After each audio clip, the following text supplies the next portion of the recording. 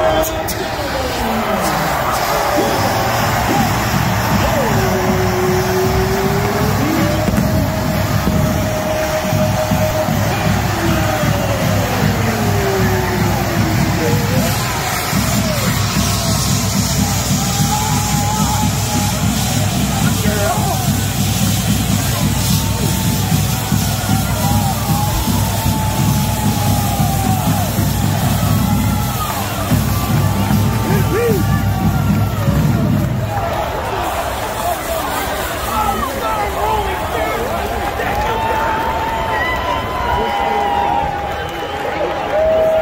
joining the referees on the field tonight.